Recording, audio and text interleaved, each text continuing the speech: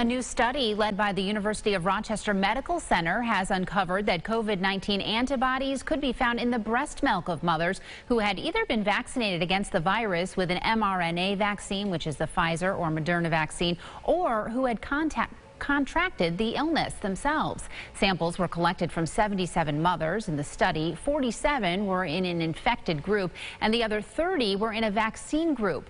Both groups developed antibodies that neutralized the COVID-19 virus and those antibodies were later found in the breast milk of the mother. An important note here, we're told that while this antibody response exists, it's still unknown as to whether they provide protection for children from the virus.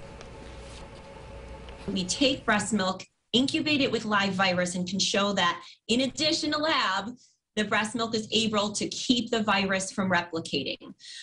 We don't actually know, no one's been able to do a study to say whether or not this, pro- the degree to which this may protect an infant. URMC says that for the next phase of the study, researchers are looking to find whether both vaccines and illness-acquired immunity provide antibodies against other seasonal forms of the coronavirus.